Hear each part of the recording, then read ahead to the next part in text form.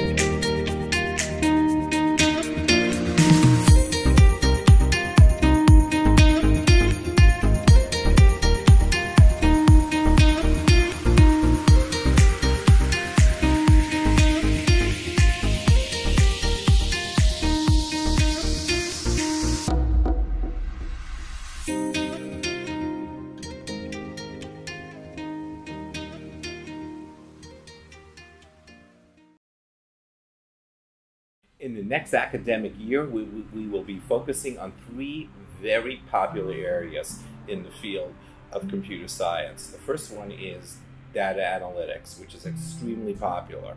The second area is cloud computing. And the third area for web and multimedia design is an area called UX UI.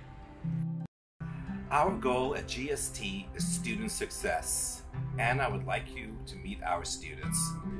I like GST because of the small class sizes and the special attention you get from the professors. I like GST because all my professors are helping me to become a professional UX designer. What I like about GST is that the program directors are very helpful. They always cater what the student needs and they know what their students are. I like GST because of the modern technology, the career opportunities, and the convenient location.